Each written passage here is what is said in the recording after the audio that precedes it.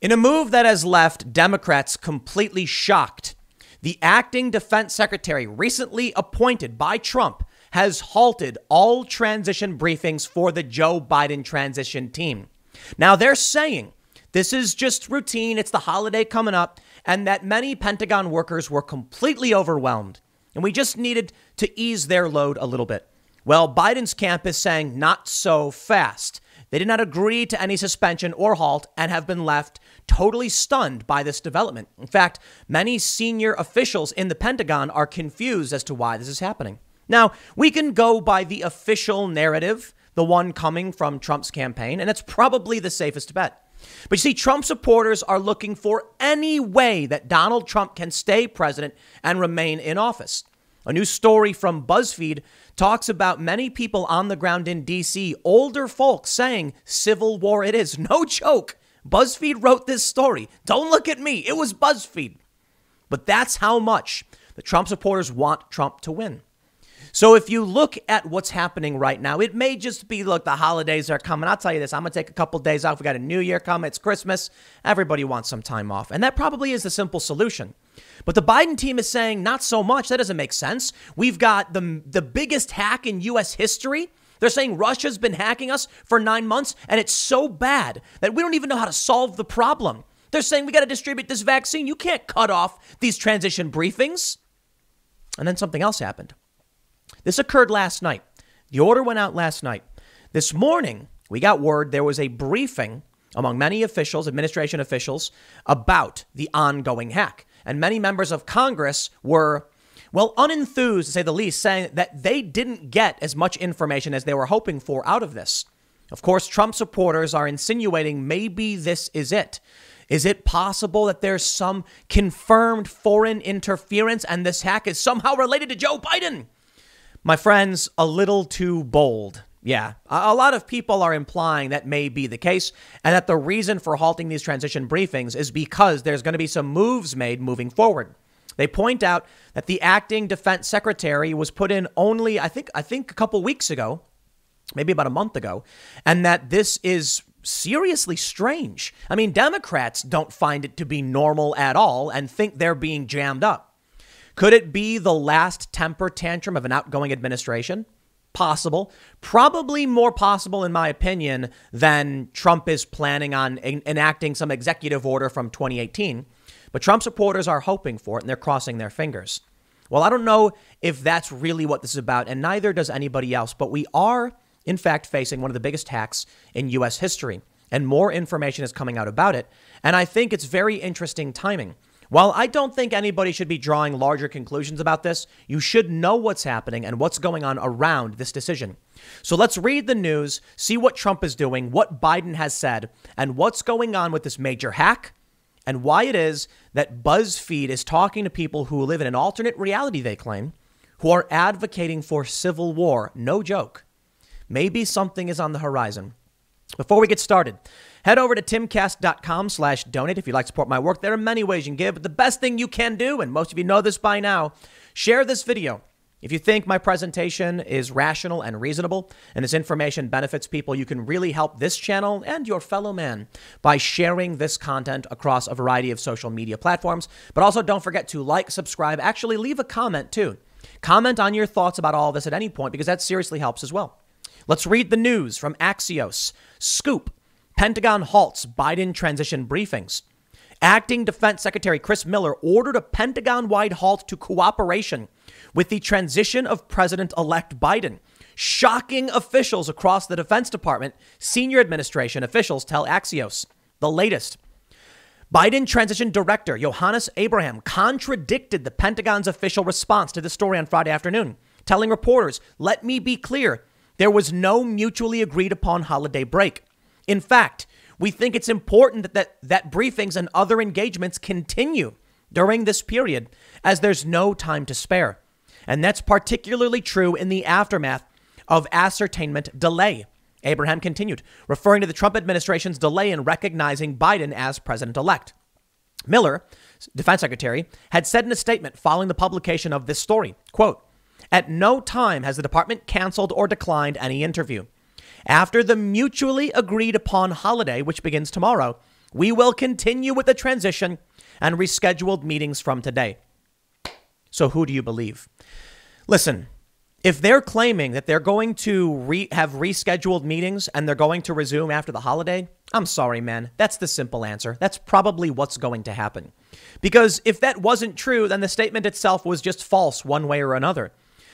But then it's also kind of weird. They're saying it's mutually agreed upon, and Joe Biden's like, nah, that's not true. Then I ask, what is the truth, Joe Biden? Well, I'd imagine if they were being cut out and they knew why, they'd say so. So I can only imagine what Miller is saying about the mutually agreed upon holiday is not true. Why would Biden lie about it? It makes no sense. Behind the scenes, Trump administration officials left open the possibility, uh, open the possibility cooperation would resume after a holiday pause. The officials were unsure what prompted Miller's actions or whether President Trump approved. Well, this is Trump's guy who was brought in, so in my opinion, I think Trump knows what's up. And, I, and, I'll, and I'll go back to the question I, I just asked why would Biden lie? And followed up with why would Miller or Trump lie about this? Now, that has, in my opinion, a more simple answer. Because if they came out and said, we are stopping Joe Biden for non holiday reasons, I think it could spark panic or outrage or fear. Listen, shutting things down because it's the holiday, nobody's going to care. I mean, that's that's actually rather reasonable and likely. But if Biden didn't agree to it and is denying it, I don't see why they would lie about it. In that case, what's the other likely reason to shut down a transition with Joe Biden? First, simple solution Trump's just jamming him up. Trump's not happy about what's going on, sure. But all this is going down while briefings are taking place around the biggest hack in U.S. history. Maybe there's something there. Maybe it's completely unrelated. I guess we'll have to wait and see. They say why it matters. Miller's move, which stunned officials throughout the Pentagon, was the biggest eruption yet of animus and mistrust toward the Biden team from the top level of the Trump administration. Fury at the Biden team among senior Pentagon officials escalated after the Washington Post published a story on Wednesday night revealing how much money would be saved if Biden halted construction of Trump's border wall.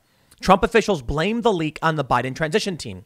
Though it should be noted, they have no evidence of this, and both reporters on the byline cover the Trump administration and have historically been prolific beneficiaries of leaks.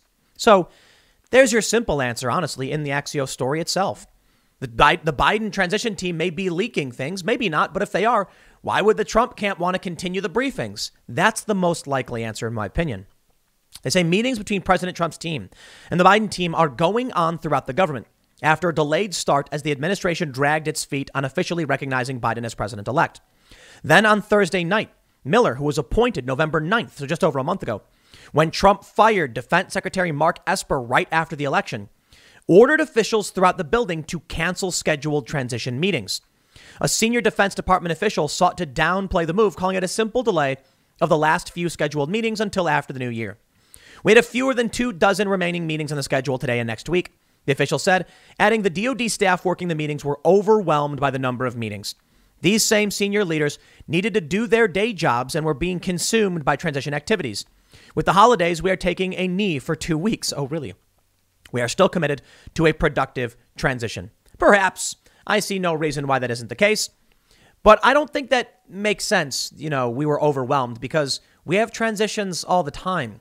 And this seems to be abnormal with many people confused by what's going on. The Democrats kind of freaking out. Okay, kind of freaking out. That's my opinion. But they express concern over the abrupt halt in cooperation with the Pentagon from the Hill.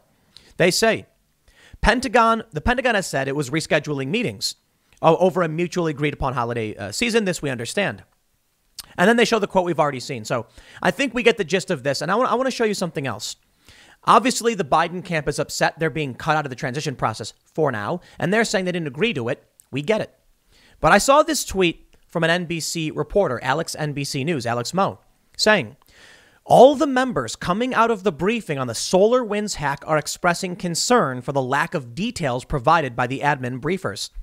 There was more in the New York Times than there was in that room, Rep. Thomas Massie said, leaving classified briefing on the hack.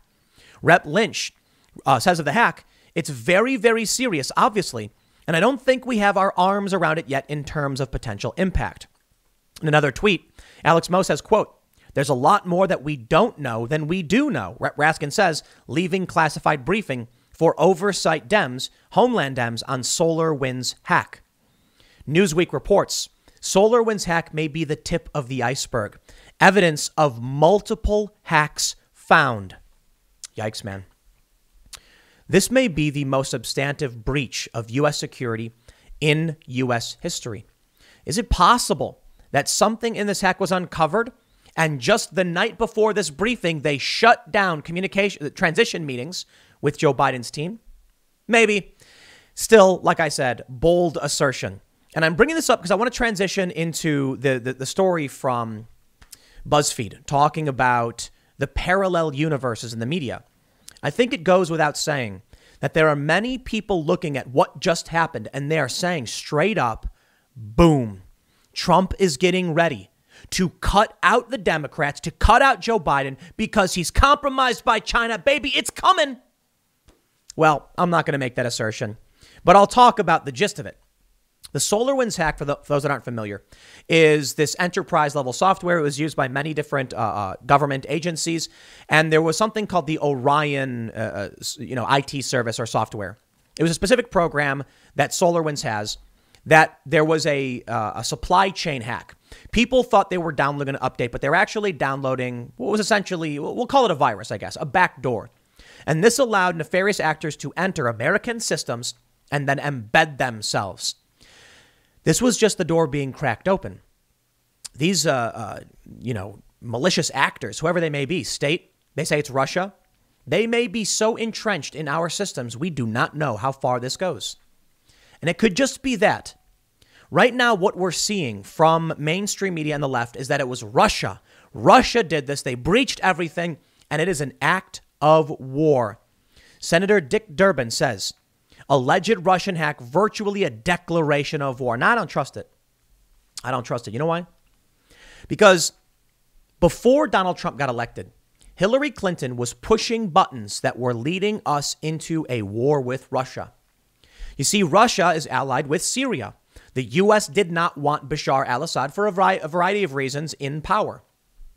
There's also the natural gas pipeline they wanted to build. But we knew that the conflict in Syria was leading to a conflict with Russia. So they accused Trump of working with Russia. And he jams up all of the American efforts to get that pipeline and remove uh, Assad. America really did not want Assad in there. Trump also brought in General Flynn, who, it's my understanding, essentially blew the whistle on the Obama administration arming rebel groups. All of this would have led to Assad being removed and conflict with Russia. Maybe not the intent, but we were heading that direction. If you don't, if, many of you may not be familiar, but for those that do, Ukraine, Crimea, Russia essentially annexed Crimea. Some say by force, some say through a referendum, sure. And it led to a, a major break from the eastern from eastern Ukraine to Ukraine. Now this is relevant because Western forces and powers were trying to get Ukraine on their side. It has a lot to do with the conflict with Russia.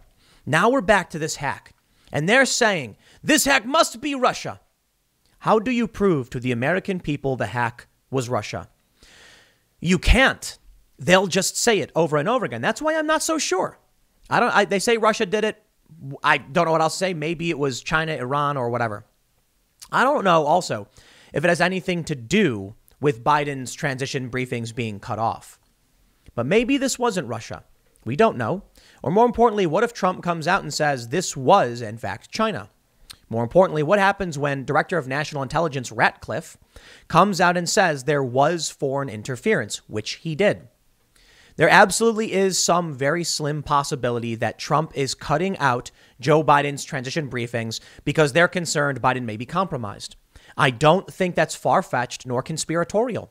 We're getting official reporting from Politico and all these other outlets that Hunter Biden was expecting payment from China he did fly on Air Force Two with Joe Biden to China, and now he's under serious scrutiny. Many people are saying we need a special prosecutor to continue investigating Hunter Biden. And as many people can probably figure out, do you think Joe Biden was just oblivious to what his son was doing? Come on. We know how the game is played. Some people have pointed out a, a very simple way to prove whether or not Joe Biden was actually in on the take. And I think we actually have some evidence in the leaked emails from the Hunter Biden laptop where, you know, his family was talking to Hunter about what bills to pay. Now, I don't know about all that. I don't got, I don't got that pulled up, so fact check me on that one. But what, what they're basically saying is look at Joe Biden's expenses. If routine things around his house and through his family were paid for by Hunter, then you know how the game is being played. Joe Biden's in office. He cuts crony deals. His son is the one who takes the money. And as we saw from those emails, confirmed by Tony Bobulinski, a confidant of the Biden family who came out and blew the whistle, 10% would be held for the big guy by Hunter. The accusation being, or I should say, not even the accusation, what we got confirmed by Tony Bobulinski was that Hunter Biden was negotiating a deal where he would have the equity, but it was really for Joe. Maybe that's why Joe Biden is now being cut out. Maybe he's compromised. Maybe these leaks are more than just leaks to the public. Now, I, am not going to speculate. I'm not going to tell you what I know, you know, that I know things I don't. This really could just be Trump saying, ah, Joe Biden, you know, I'm so mad I lost. Don't do any more meetings with him. It could be that simple. And honestly, I don't think it's that far fetched. Trump being like, you know what? I don't care. I can do what I want. No more meetings with Biden. Because he can. Why not? Maybe. Or maybe there's something else going on. I know a lot of Trump supporters want to believe it. We got this story from Newsweek as well. US China conflict would be a disaster for whole world, Beijing warns. Well, then stop jamming us up and taking away our manufacturing and all these other things. Back off, China. China's not just interfering in the U.S. It's their Thousand Talents program. It's a, it's a bunch of other things. It's buying of pro- buying up property, a lot of legal things. China isn't just, you know, doing playing these games in the U.S. They're buying up land across the world in Africa and South America. They're doing oil exploration down there as well. They were trying to build for a period the Nicaraguan Canal to compete with the Panama Canal. And there's something called Thucydides' trap, which suggests conflict between US and China is inevitable. Maybe it's not. Now, you know what? I'll tell you this China's not wrong. Con- uh, conflict between the US and China would be a disaster for the whole world. But what do we do? Do we sit back, lay down, and just say, have at it? No. We've got two different worldviews. Now, China's massive, you know, 1.3, 1.4 billion people. In the US, 330 million people. But the US has wealth, power, and military strength. So it could be a potential disaster. But I tell you this you can have the best weapons in the world. The most powerful thing is just people. If China is able to, you know, if war does break out for whatever reason, they got the people, man. That matters. It does. But I don't think that's where we're headed. Whatever civil conflict we end up seeing, I think it's going to be fifth generational warfare. This is the story we're getting for BuzzFeed News, and I'll tie this all together. I bring this up because people are looking at the action taken by the Trump administration right now by his Pentagon defense secretary cutting out Biden as another step in the process by which Trump retains power. Some have suggested Trump will become a shadow president, that his supporters will stay by his side, period. No matter what happens, no matter what Joe Biden says, there is no official anymore. Interestingly, uh, Rosie Gray doesn't seem to truly understand these universes. There are two. Axios said he, uh, the CEO of Axios said he fears there'll be a decoupling of these two universes.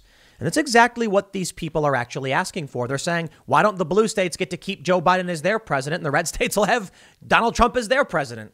I mean, yeah, why not? it is an interesting question. And then y'all can negotiate between each other and see how things work out, I guess. But I do find it fascinating. Uh, I do know Rosie Gray, haven't seen her in a long time, but it's interesting to me how these journalists really don't understand what conservatives are doing or what they're thinking.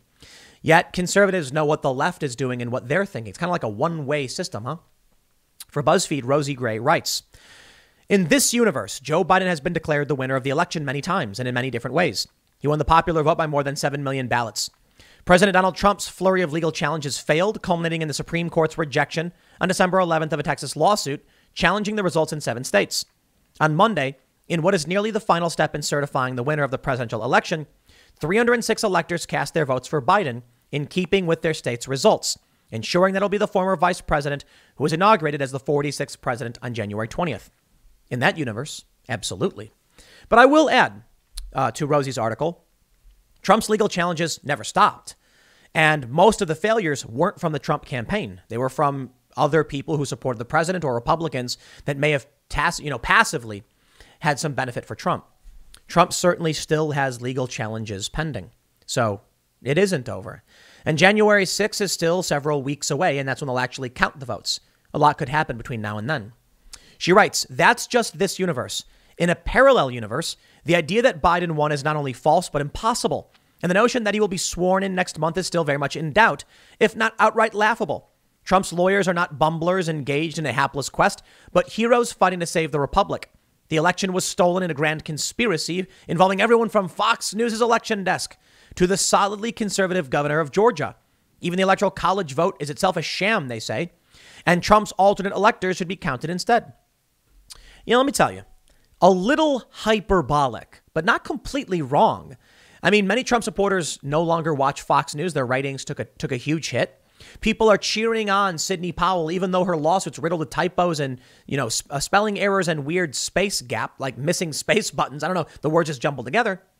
And I think Sidney Powell and Lin Wood have actually hurt Donald Trump's chance at challenging the election because Trump needs legitimacy.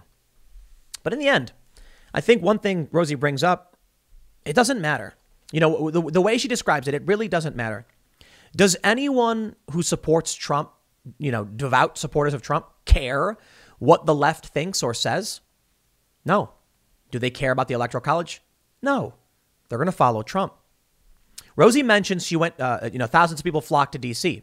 She says, walking down Pennsylvania, I caught up with Robin Bonner, 62 from Kansas. As she made her way down the street near a rally in Freedom Plaza hosted by the group Women for America First. Bonner held a pro uh, pro police thin blue line flagged. She says, I asked Bonner how she felt about Biden being sworn in. He won't be. I'm sure about that, she responded without hesitation. How can it be prevented? We will dismantle the government, she said. I asked if she meant civil conflict. Quote, if it has to be, she said. Uh, if it has to be, she said, though she hoped not. Instead, she said she'd prefer a peaceful secession. Quote, maybe we can go to the Supreme Court and get the blue states disconnected from the red states and have our own president. I don't know why we can't just kick out the blue states. They don't want Trump. They don't want the Constitution and they don't want our freedoms. So why shouldn't we just let them go? And then we'll have all the red states. Honestly, it's a good question. If people in West Virginia want to have a bunch of guns and just go hold two full auto and fire them off like crazy, why not let them? If people in New York City don't want to do that, then okay, then don't. People live very different ways, and we're coming to a problem where there's there's fundamental differences in how they want to live. Now, there are some really good reasons, in my opinion, for not breaking apart. I mean, the economy, the ease of travel, and I think there's really good reasons why the Supreme Court can rule over all of the country. There have been many Supreme Court rulings which have greatly benefited this country. Obviously, civil rights I think uh, loving v. Virginia and gay marriage, I think it's been uh, good. The Supreme Court has been able to say this is what the Constitution says. But this is different now. The Constitution also says you have the right to bear arms. More importantly, that it shall not be infringed. Shall not be infringed, say all of the ardent 2A supporters. Yet it is being infringed. If the idea is the Supreme Court will interpret and uphold the Constitution, that's not happening today. We have Democrats in blue cities with by by edict shutting down businesses and destroying lives. So maybe it does make sense. If the Democrats want to suppress and oppress their people, and the people who live there don't care, far be it from me to interfere. But there's a bigger and better question then to this woman and those who would say, let them have their president. Do the people in New York really want to be crushed under the boot of Cuomo? Probably not. So it's an interesting predicament then. The Constitution has been set ablaze figuratively in places like New York and California and Michigan and Pennsylvania and Illinois. Should the U.S. government sit back and say these jurisdictions are allowed to destroy the constitutional rights of their citizens? Or is it incumbent upon the federal government to make sure the states are abiding by the Constitution? And what happens if they don't? It's a cop out to say we should just break apart. Why? The Constitution is for all states. Do we sit back and let Cuomo rip it to shreds? Apparently so. Because the best the political will of the right has to muster, has to offer, is let's just walk away. Sure, so be it. Maybe you want to live in peace. I think that's the best thing the Democrats could hope for Because the alternative is Trump invokes some kind of martial law or whatever to send in military to enforce the upholding of the Constitution. Right now, you've got the left saying, oh no, General Flynn and people on the right have called for martial law. State Senator in Virginia and North Carolina have both said martial law. Politico says Republicans don't understand what the Insurrection Act is. MAGA leaders call for the troops to keep Trump in office.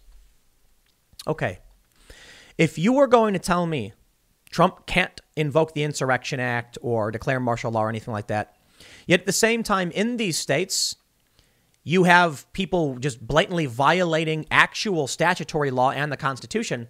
Tell me again why I care about what you think is legal. If you can violate the Constitution, then there must not be one. If the Democratic governors in these states don't care when they pass, you know, Cuomo just banned hate symbols in violation of the First Amendment, barring people from going to churches violating the First Amendment. He's ripping it shreds. Why would it make a difference then if Trump declared martial law? What does legality have to do with it? Y'all have already broke the law. More importantly, if civil, civil liberties have already been suppressed, repressed, and people are being oppressed, then the only thing that can come from Donald Trump's martial law is people getting their rights back. Because if he just takes the if he just maintains the removal of people's rights, then nothing changed, did it? So I'm not saying it's the right thing. And I'm not saying it's a good thing. I'm just pointing out. Maybe Donald Trump is shutting down Joe Biden for this reason. Maybe it's just wishful thinking from these Trump supporters. I gotta say, I do not believe that Donald Trump has the political willpower to do anything like that. And the simple solution here as to why Trump shut down the Biden transition briefings is because Trump is giving a one last big middle finger to the Democratic establishment and other establishment politics in the mainstream media. That's about it. I don't think there's some grand scheme or grand conspiracy. And I think at the very least, you can say they're probably lying about why they're shutting things down. If someone told me to make a bet and I had no choice, I'd bet that Trump is just jamming up Biden on the way out. But I do think there's a better probability that Trump has actionable intelligence from these hacks from Ratcliffe, the, the director of national intelligence, suggesting there's something going on with the Biden family. Because Tony Bobulinski, a former confidant, said the Bidens are compromised by China. And if that's true, then Trump is obligated to stop them from taking the presidency, isn't he? If they're going to say make these claims and assert them as fact, wouldn't any rational person say we can't allow it? Now, here's where the two universes come in, like BuzzFeed reported. It doesn't matter what the left thinks. The left doesn't care that Hunter Biden was in Ukraine making money or that he was flown to China. They don't care. The rest of us are deeply concerned by it. So, what happens? Do you roll back and say, I refuse to be involved, refuse to fight, and I'll just run away? Sounds like that's where Trump supporters are at. Let the red states leave, they say.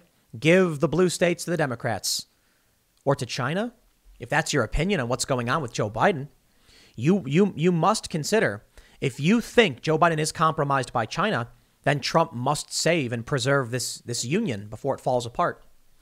It's not so simple, is it? There's no real answers. You don't know what the truth is. Nobody does. Is Trump actually the despot dictator they say he is? Clearly not, because he's not doing these things and he never has. In the end, Trump supporters, the best thing they've ever put together, the best thing they've mustered is peaceful divorce. Let's break the country apart. That is not Abraham Lincoln at all. Not at all. That guy kind of went nuts, huh? Suspending constitutional rights the way the Democrats are. Trump's not doing that. So, in the end, I'll tell you what I think is going to happen. I think Joe Biden will become president. I think most conservatives are going to say, well, you know, better luck next time. We'll keep campaigning. Proud Boys will get angry and they'll march and they'll yell. And then in the end, I think we will have Joe Biden, who I personally believe is compromised by China, and uh, he'll be the president. I don't know what the other view of this is. There's no great organization of right wing individuals. Trump doesn't have even strong support from conservatives like Geraldo is saying, give up, it's over. Trump supporters are saying no, but is that enough? Is it even right? In the end, maybe there's no great threat and Joe Biden's the bumbling old man who won the presidency. Or maybe he is an old crony who used his office to prop himself up and is compromised by China. When they accused Trump of being a Russian asset, they did not have the political willpower to go beyond that, but they did get a special prosecutor. At the very least, you think Trump could do that, right? A special prosecutor investigating the Biden family, not just Hunter Biden on the way out. If he doesn't do anything, it just proves conservatives have no political willpower. Now, Trump supporters, I think, do. But is that it we get from BuzzFeed? These women saying, let's just secede, let's break apart? That's not very strong political willpower, but hey, it's better than nothing. I'm not saying it's, it's right to break up the country. I'm saying at least there is some willpower there. It remains to be seen. But in the meantime, Joe Biden getting cut off. We'll see what it means in the long run. I'll leave it there. Next segment's coming up tonight at 8 p.m. YouTube.com slash TimCastIRL. We're hoping these special guests can make it. There was recently a blizzard and things are getting, you know, kind of jammed up on our end. But this could be a really big show about the China, about China, about their culture, about what they're doing, about war and infiltration.